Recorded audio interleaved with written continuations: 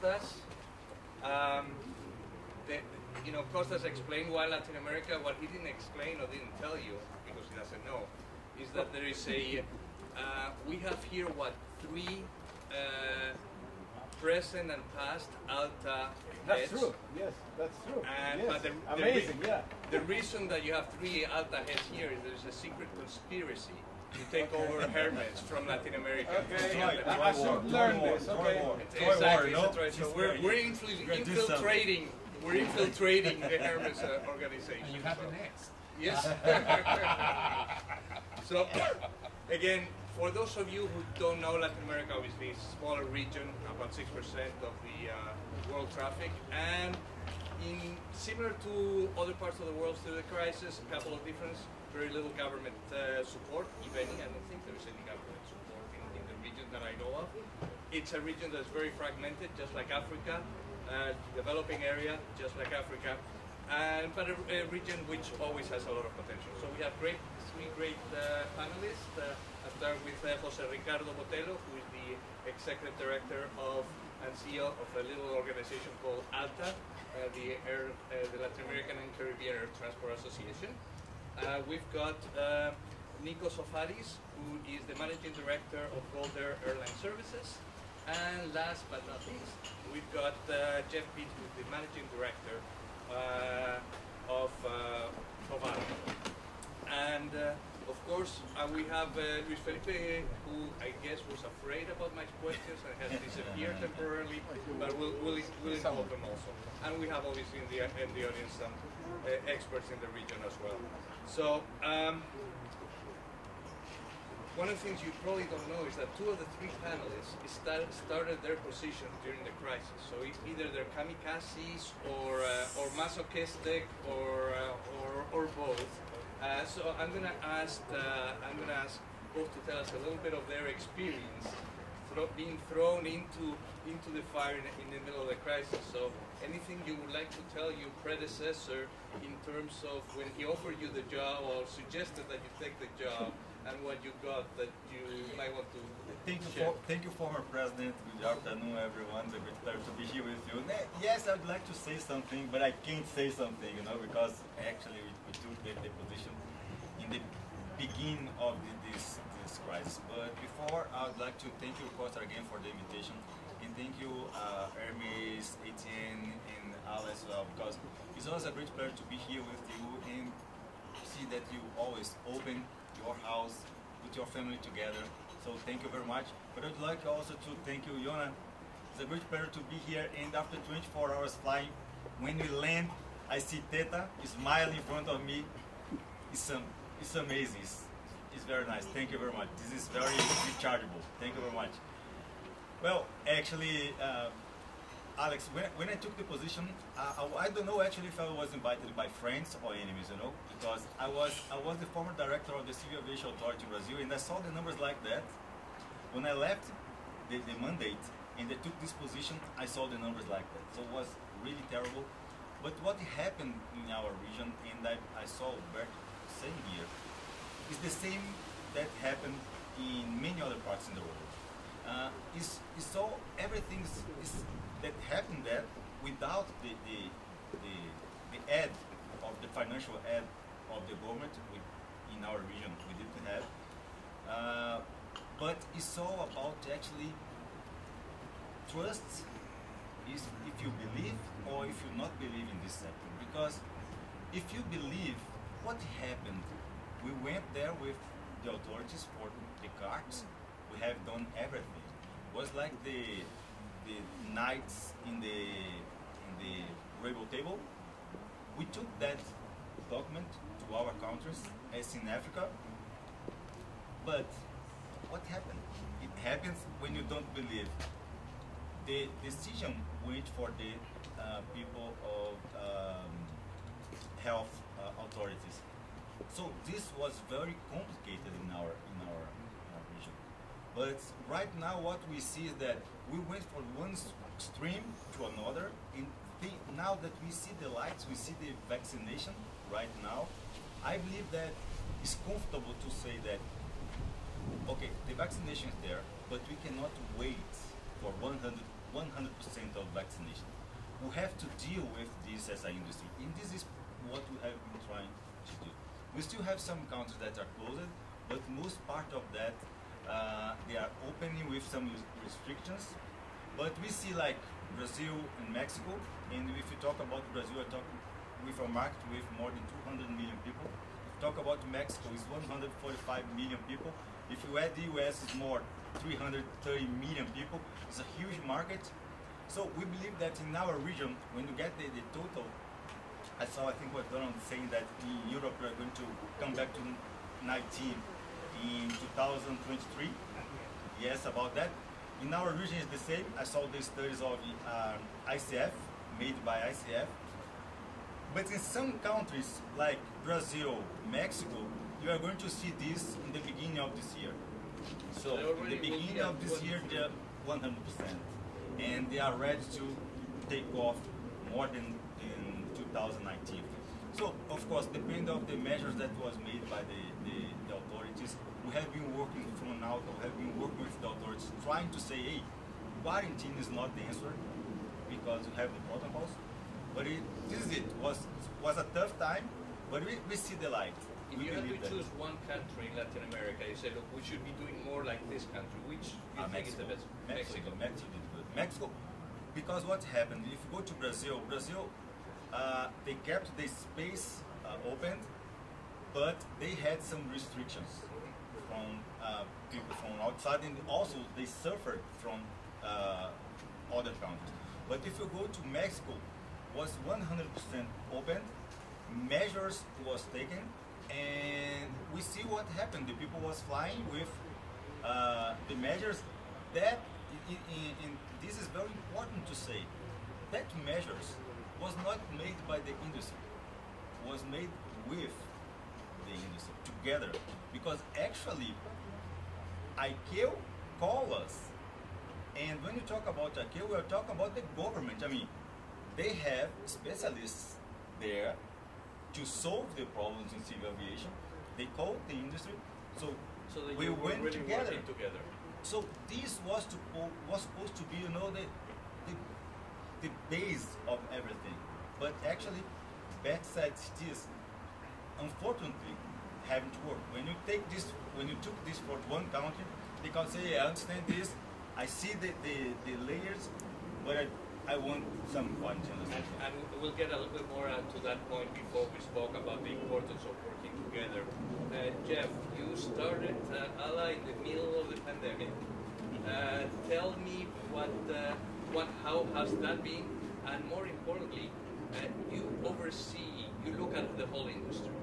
Uh, what has impressed you the most, and what, uh, what's been, uh, uh, what's been the negative side of, of what you've seen so far? Um, I would say uh, is a symptom of the pandemic. It sort of manifested because in the, in the at the very beginning of the pandemic. Um, uh, was my second life in aviation. The first one I came to one of the first mergers. You know that very well because you were part of that too, LAN Chile and, Ladeco. The Chilean Airlines when they merged, and everybody they were throwing eggs at, at you know at LAN Chile for taking over this magnificent little airline, and and so it, it, it is not the first time I go through hard times in aviation, but. Uh, the thing that has impressed me the most is the ability of the industry now to be as one. Uh, airports, airlines, and I just came back to Athens from the CCMA and MRO conference that ALTA, for the second consecutive year, uh, had the courage to organize a massive conference, uh, 500, 600 people, uh, with no risks and everything very well taken care of and uh, and you see there that the industry, I, I think it was the right decision to carry out this this conference because you see the industry the industry as one. You don't only see airports and airlines. I heard you uh, at the previous event that you know one of the great things is that you see those two ends together, but now you see even the suppliers and everybody willing to you know take um, to make efforts to continue to be part of, the, of this industry. So I think that's that's the most amazing thing. Um, any disappointments, things they said, damn, they should be, they can do better here. I, I think that that's the way I would put it. They can do better. Um, and, and being a communication specialist and having worked in aviation from that end, I think if there's one failure is that the industry has had a lot of messaging, a lot of interlocutors, governments, you know, regulators, so many different and, new people. Like like you know, you, suddenly you got the Ministry of Health inside of airport, right? Uh, I, I don't think it's it's casual or it's it's just um, the fruit of, of something completely out of the blue that the current, I mean, that the Minister of Tourism in Greece has just been appointed is the former Minister of Health. Because, you know, suddenly these two sectors, these two areas of the economy are so much intertwined. So I, I would say um, it's the messaging. It's, it's I think uh, we've discussed this with, with uh, Jose many times. I think I've talked to Luis Felipe as well. That you know the industry should agree on common messaging, and I think ICAO has the role to play there because the more you repeat yourself in in a time of crisis, crisis has a very, very huge element of communications. And in what sense? You repeat and you agree on a message and you basically, there's a point when the wall will come down. But when you have different people sort of picking up, you know, cherry picking on messaging, on communications, oh, uh, and being so reactive, I think there's a, there's work to do there. We should agree on, on, on you know more common messages and I think the ground is there because airlines and airports are, you know, sort of working together in that respect. And you, now I see all the, the supply chain even. I mean, they're all suffering, and, and, and there, there, there is common ground. I think more than I would say they haven't done the right thing. I think there's a lot to be, you know, to be planned. As as for ALA, um, well, I think we we started with Costas, and, um, and it has been a fantastic trip. Best trip I've taken over the last 12 months, and, and I've been in a lot of places. Felipe was saying that I've traveled more than he does. But uh, the great thing about it is that everybody was on the ground, like you're here. So everybody was reading, everybody was wanting information, wanting to get their voice out. So it was great. And much to my regret, because I'm a great admirer of, you know, like airline magazines, you don't have a lot of now places where you can communicate. So having put together a website uh, in English and Spanish that covers the whole aspects of the industry, not just airlines going there, you know, stopping going there, but everybody, everybody has a voice. I think it has been, it, it, it was the right time. Everybody was. Congratulations to you and, uh, and, and to Costas. I think, you know, we, we talk a lot about the traffic, but if we as industry leaders, part of the industry, we don't start flying, how can we expect our passengers to start flying, Yeah. go to events and do things? So it's, it's uh, sometimes you have to, uh, to, to, how say, it, uh, play the dance or dance, uh, Yeah, it's something. Walk the talk. walk the talk. the talk? Yeah, it's something about this. Uh, last year, when we, we said, hey, we are going to do this CMA in a row that was supposed to be, was supposed to, was the, we did it in, in Cancun. A lot of people called us and say, hey, this is going to be the only one in Latin America. Yes. You have to cancel it. You know Yes. that very well. Oh, yeah. We, we, we Yeah, spoke we a lot. that conversation. You have to cancel that. Regret. I said, look, every day as an industry, we go to the government to say, hey, you have to keep the sky open. We know the protocols. We worked with the, the ICAO Yes. about the protocols. We are going to do the protocols in the event. Why am I going to cancel? Again, it's about believing. If I don't believe what I'm doing, who is going to fly? Yeah. So we did it, and we was you, you were there. Was a tremendous work, but we tested everyone 100% of no.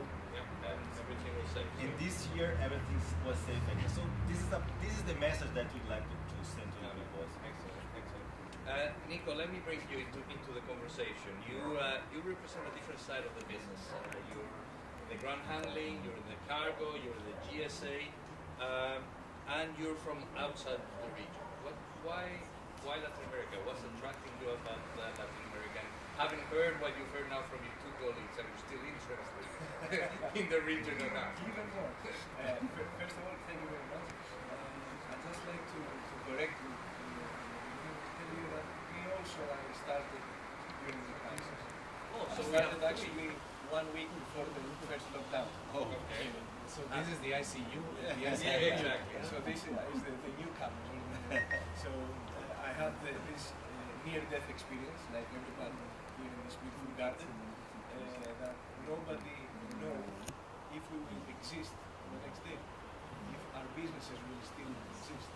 We really um, calculated uh, on, on a weekly or on a monthly basis how many months we will sustain this situation that we faced in the, in the first period. So we said, okay, we have this amount of money, we, divide it by, survive, by, yeah. by our costs to see how much we will survive if this situation continues. So it was a near-death experience, uh, in a way. Of course, we are healthy, and this is the most important. Um, on, on the other, on the other hand, uh, I, I heard some some things from, from the previous discussions that covered a lot of the things that I would like to, to add here. But um, uh, still, I just before I answer your question, I would just like to, to answer to, to Michael, uh, who, who said something very interesting. That in the beginning, he was afraid that more airlines would default. Uh, that was my exactly my impression as well and my fear, because thi- this is a fear. Okay? It doesn't matter if it's your airline or a competitor's airline. It is a fear for the industry. It is a fear for our jobs. Uh, Michael, I'm not sure that we are over this yet, because you are right that up to now it had little effect. But let's see until the end if we are still all alive. And, uh, and, uh, I think it's delayed. I think it's delayed actually in the U.S. You had Chapter 11, for example, and Latin American carriers. Latin American. A lot of carriers took advantage of Chapter 11 protection to Uh-huh. reorganize, and that's good in a way as long as they do it. Mm. But I'm, I'm with both of you that I don't think we've seen the end. I think consolidation. You know, if you look at, at, at aviation as a global industry, it's probably one of the few global industries that you have so many players and that are not consolidated. And in most global industry, you have maybe three, four, five players that have 70 percent of the market. If you look at aviation, the biggest is about what 10 percent, 12 percent, something like that. So there's still a lot of a lot of a lot of room for But, consolidation. but, but a, a, uh, uh, a default here, a, a, a, a serious default, will be massive, have a massive effect because it is not easy for other regional airlines to take over the routes and the market uh, at all times, at, at all mm-hmm. regions at least. And this may cause long-term effects. So this is something that is, is, is still around. We, have to, to, to wait and see what will happen. And I'm also not sure if, if uh, as the colleagues in, in the previous panel said, if we are uh, close to the end of this thing. We are always facing new mutants of the, of the, of the COVID, Exactly. and we're not sure if, if the vaccines will be uh, good enough. And uh, uh, here in Greece, now we have 97% of the Delta 97% of infections. So who knows if we will uh, be okay with the next mutant? And it, it is something that we are all hope that next summer, as, as our colleagues from AIA and Aegean said, we hope that next summer will be a good summer, a bit even better than this year and close to 2019 figures. But we have to, to be a bit conservative because we, we cannot know for sure what will happen. It, it is a lot bigger than we all expected. So to, to your question, I'm sorry about this. Um, Latin America, uh, of course, I'm the outsider of, of this uh, beautiful panel here. Um, Latin America is a very large, large region and a very large part of the world. And uh, although it is six percent, uh, let's say, of the, of the, of the world traffic right now, uh, for us being a Greek uh, GSA company, actually what we do is we represent airlines in, in, the, in the Greek territory. Uh, it, it is a very large and, and has very large potentials as a market. Why is that? As a GSA, we represent companies like, like ours, represent uh, online and offline airlines. Uh, for the online part, there is no, no specific interest, uh, as at the moment there is no flight from Latin America to Greece, or uh, uh, not, not even a seasonal flight. However, this may change in the future. Uh, but as an offline market, we we believe, we know that we would like to, to, to show this potential to the Latin American carriers as well, that there is a great potential for them here in Greece. Why is that? Uh, Greece, uh, for, for, for, for all of your information, uh, the, nowadays, and I'm not talking about uh, September, I'm talking about the average of 2021 and 2020 as well, the 95% approximately of, of BSP sales, of, of all tickets sold from Greek territory, were uh, marine, marine traffic, meaning they have nothing to do with Greek origin of, of, of, of, the, the, the passengers. This, this is happening due to a very specific uh, factor. The 21.3% of international shipping is owned by Greek shipping companies. These shipping companies are headquartered here in Athens and they are booking the transportation, the repatriation of all sea crew members, of all their 5,000 vessels, which is a global fleet. It has nothing to do with Greek. I'm talking about commercial fleet. I'm talking about tankers. I'm talking about um, uh, container ships. I'm talking about bulk carriers. Uh, I'm talking about LNG carriers. So Greece is the leader in this market, in the shipping industry. We hold 58% of the European market and 21.3% of the global market. So How much of the Latin Latin American market? the, the, the, the, the, there is no answer to that because the global fleet, th- this is a global market, and all these vessels move all around the world. Every every month, every day, there's a new contract saying, okay, now you go to So these these vessels change their, crew members at any given day. Every actual day, crew changes are taking place. So- this 95 percent under normal circumstances, a 45% of all sales are of this market.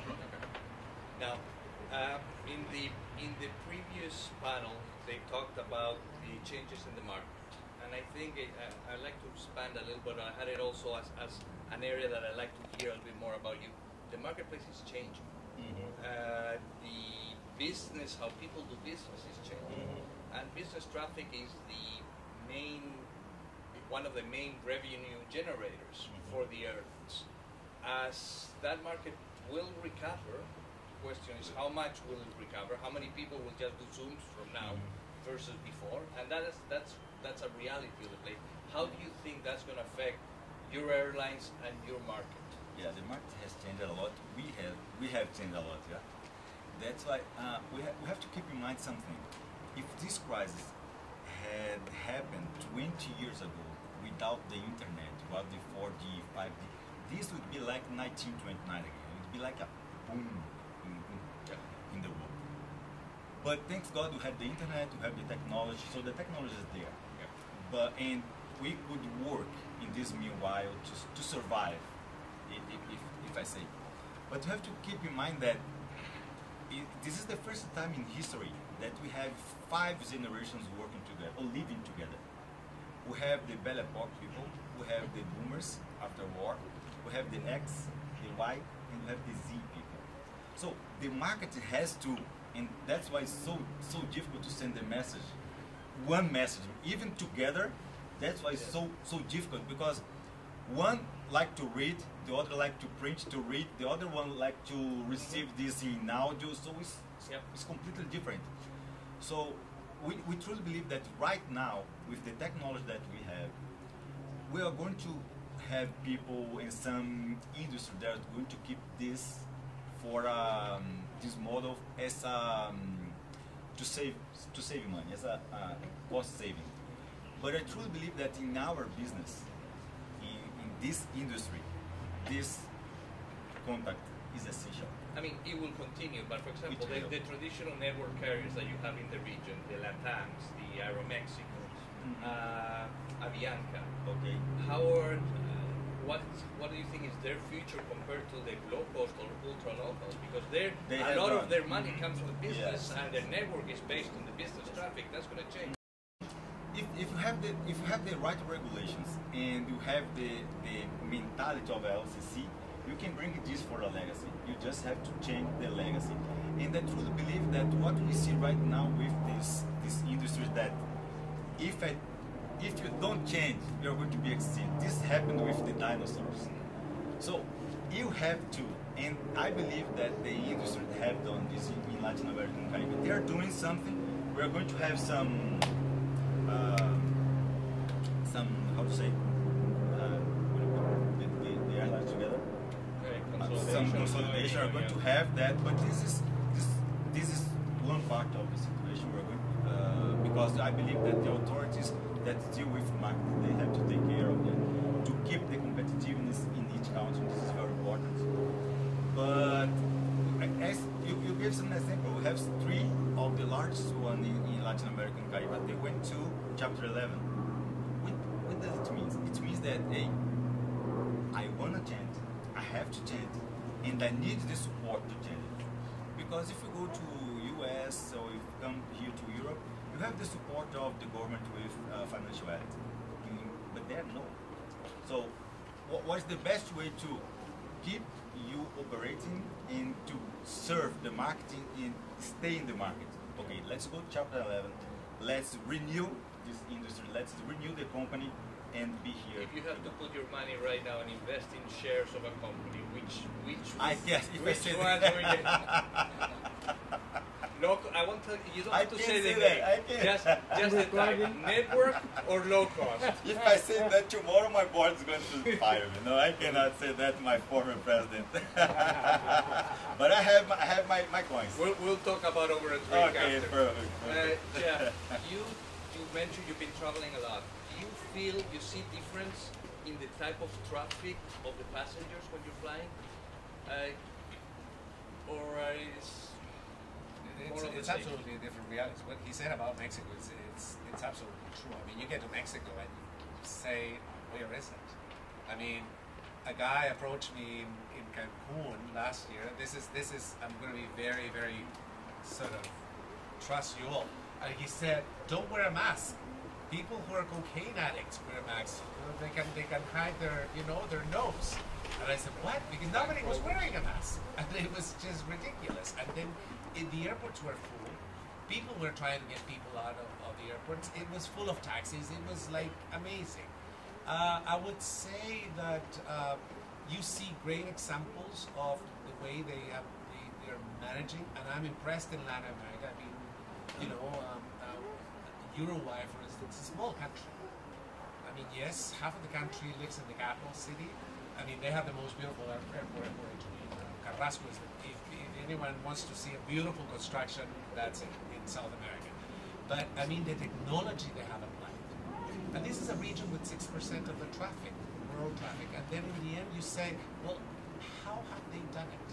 And, and they have they have really invested. I, I was just in the Dominican Republic, same thing. Amazing. I mean, it's an airport that, yes, it's beautiful. It has this beautiful sort of tiki First Nations, yes. yeah. It's an airport without walls. I mean, you're there, and you know, and, and it, it, it, it's. But they do have the machines, and they they are catering in a way that they can handle the most. I mean, the greatest amount of people they can handle. Um, but um, Well, you, you, you mentioned a good point there, which is the technology. And I think it's been mentioned before that this crisis is helping speed up a little bit the implementation and acceptance of some of this technology. Uh, is there anything, or can we do more, especially in the region, as, as you mentioned, in terms of uh, I think little by little, it depends on, you know, it, it happens. Uruguay might, might, which was one, I think it was the first country to do it like like personless, like the immigration procedure and all that. And Uruguay was not open at that time. So, but all the others where you see this, it's it's mostly because they have opened and they have reached out to the technology so that they can, you know, sort of manage this new flows almost, right? Um, So that's one thing. But going back to the messaging, he's, he's right. Uh, we miss the millennials, which is an Yes. important group. Uh-huh, uh-huh.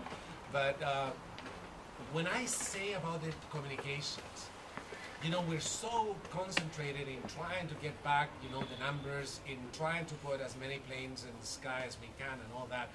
When I say communications, uh, there, there is one key aspect that I think aviation should feel proud and everybody should go out of this meeting and of any conference feeling proud about the sector, and that is sustainability. There's not a single airline, at least the region that I cover, like the Americas, and I include the US and Canada as part of it, there's not a single company that has dropped its sustainability goals. And I was in mining for 11 years. The only reason why governments would allow mining companies to operate is if they had corporate social responsibility and sustainability and environmental management, sound environmental management, right? So in this case, all you see is that all the goals are there. There are companies that are saying that they're going to do it ahead. Embraer just announced 2040, not 2050. And where's that message? The industry is coping with that, no matter facing the greatest financial, you know, burden that has ever faced. And then the other thing, I've been reading a lot about this. Um, I'm an immigrant myself, and three generations back, my family were all immigrants from one place to another. One of the things that, for instance, has, yeah, everybody's going to say, well, they left the mess there. Of course, they have to do this. The CRAF operation, the, the you know, the, the civil reserve aircraft fleet, mm-hmm. American, United, Delta, Alaska Airlines, mm-hmm. putting planes to bring all those refugees out of Afghanistan. Where's that message? Where's the message that aviation is a fundamental part of human rights in this world? It's like you know they're getting. If, you, if I mean the U.S. just enlarged the network of airports where they're receiving these special flights. You see the stories about flight attendants and pilots who were refugees themselves. You know, bringing all these refugees out of Afghanistan, and and, and, and there's so many points that we forget or we don't think about because it's either we had to do it, we committed, and I think it's a great uh, asset of aviation. Once aviation commits to something, it usually goes for it and complies with it, sustainability and all that. But then you know that should be highlighted. Uh, Sorry to interrupt you, but my boss over there is giving me signals that, that we need we need to to but but actually I I think you make a very good point and not only that I think we should use more your your passion and your drive and your communication in terms of this. So thank you very much. And just one final quote, uh, since we were doing some quotes before. Uh, I don't remember. I think it was Henry Ford that said, "When everything seems to be going against you, remember airplanes take off against the wind, not with it." So, um, thank you, Jeff.